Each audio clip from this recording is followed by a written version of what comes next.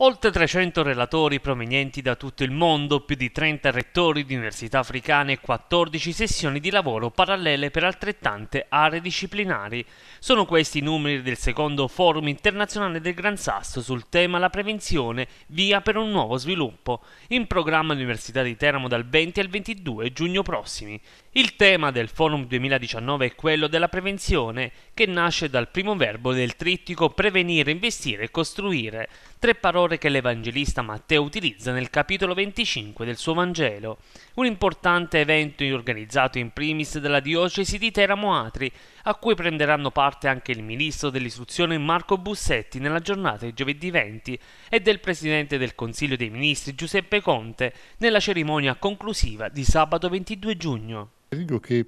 il forum ha suscitato molto interesse, l'anno scorso era stato certamente di alto livello ma non così esteso come quest'anno, ma credo che il tema della prevenzione, non soltanto perché siamo in un contesto dove certamente c'è tutto il problema del, del terremoto, dunque della prevenzione della, del territorio, ma credo che il tema della prevenzione sia importante anche per rilanciare una nuova progettualità sociale. E questo è compito innanzitutto della Chiesa, ma anche, direi, spero, sempre di più di tutto il mondo intellettuale, per questo anche qui a Teramo abbiamo delle esperienze molto significative, come non solo l'università, ma anche i centri di ricerca, il conservatorio, l'osservatorio astronomico, il zooprofilattico, i laboratori.